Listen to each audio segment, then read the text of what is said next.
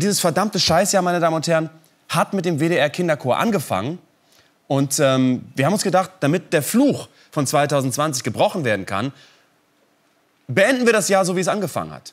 Mit dem WDR Kinderchor, damit das nächste Jahr besser wird. Zusammen mit dem Rundfunktanzorchester jetzt die zweite exklusive, hoffentlich nicht ganz so spitze Performance des WDR Kinderchors. Gute Unterhaltung.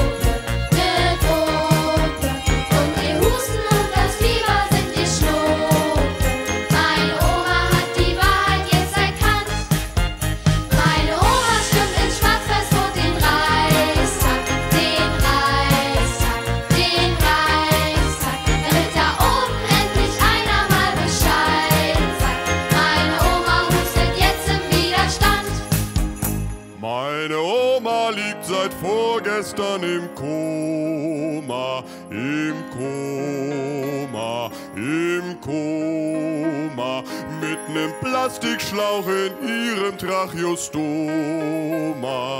Pandemie vorbei.